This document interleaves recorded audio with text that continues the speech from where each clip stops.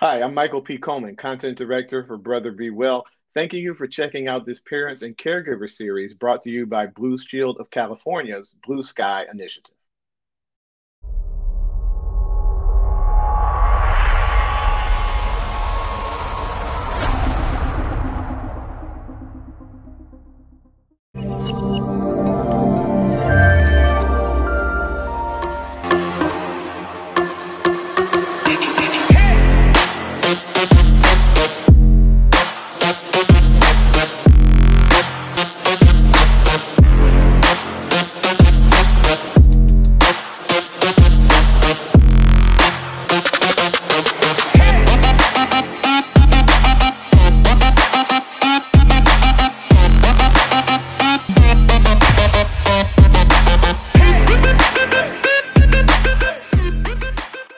Hi, I'm Michael P. Coleman, Content Director for Brother Be Well.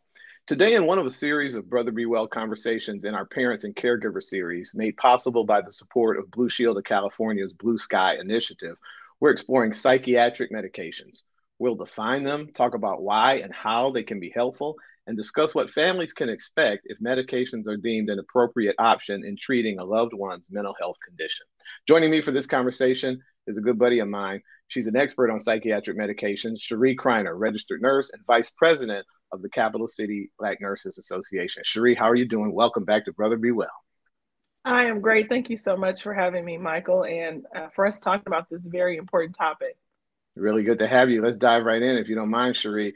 I understand that there are five main types of psychiatric medications. Before we get to those specifically, would you please define the term psychiatric medications for the Brother Be Well family?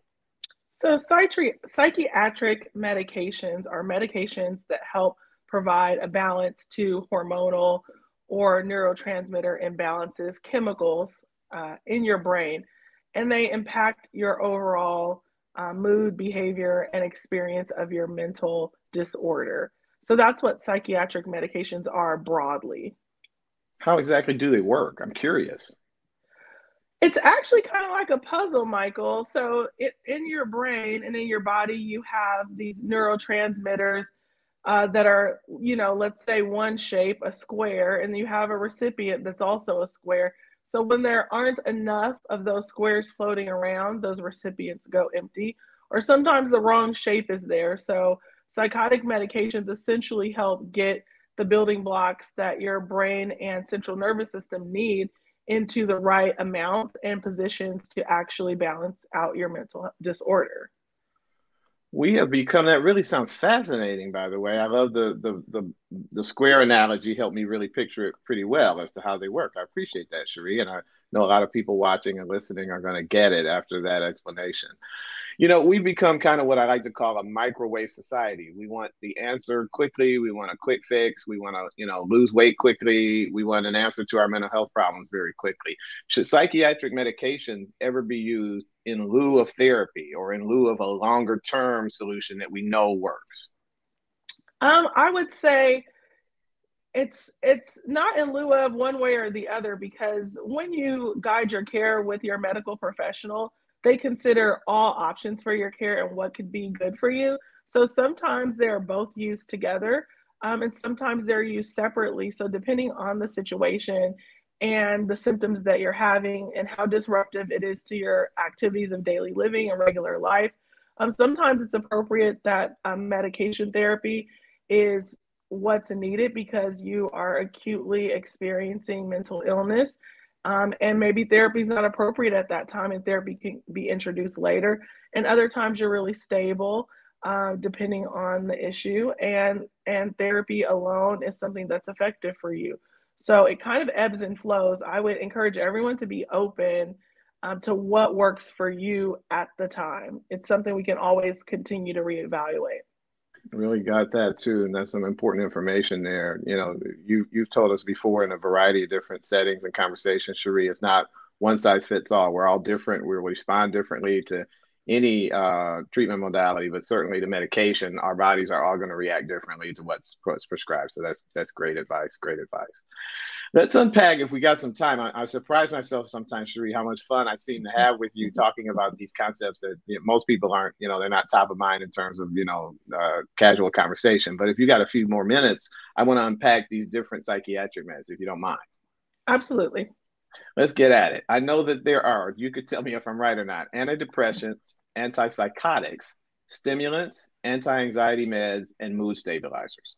So let's start with antidepressants. What do they do, and what possible side effects might someone experience when they're taking them?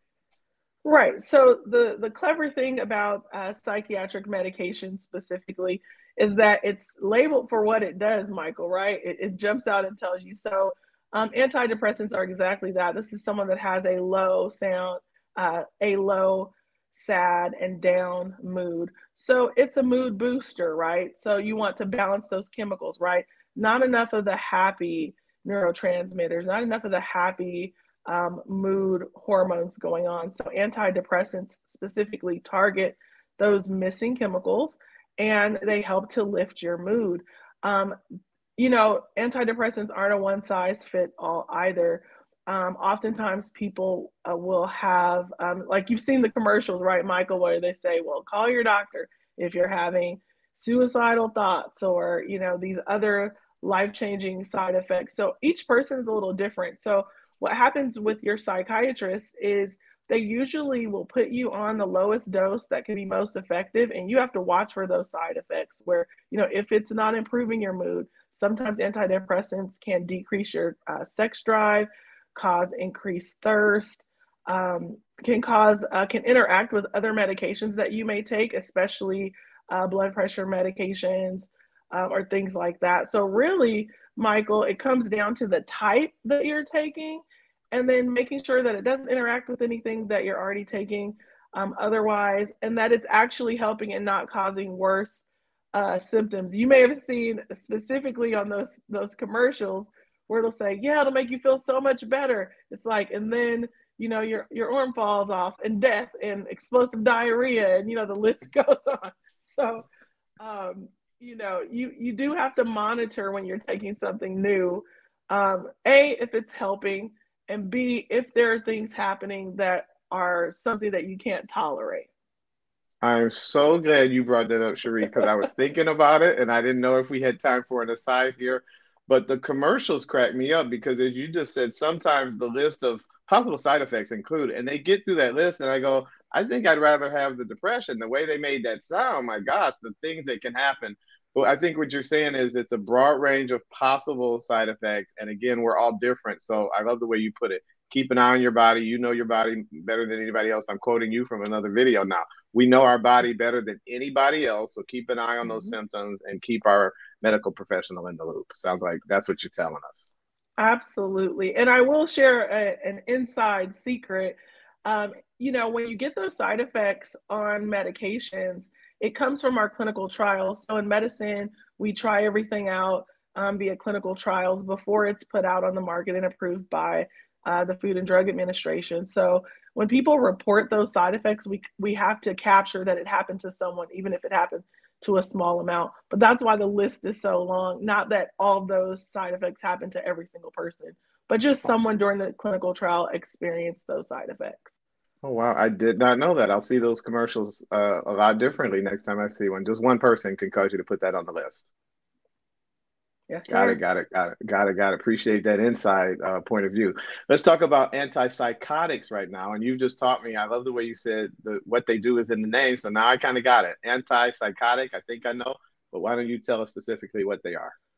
Right. So psychoses. So these are people typically when you hear people that are schizophrenic that have delusions and hallucinations and things that are kind of outside of the realm of reality so antipsychotic medications specifically work on that type of chemical imbalance to try to, to reduce or eliminate those types of symptoms. So you'd see a person that maybe is talking to their uh, themselves, or um, they're seeing something that's not there, or you know maybe reporting something that you feel is that they're just outright lying, but they believe it to be true. they're really suspicious, not trusting.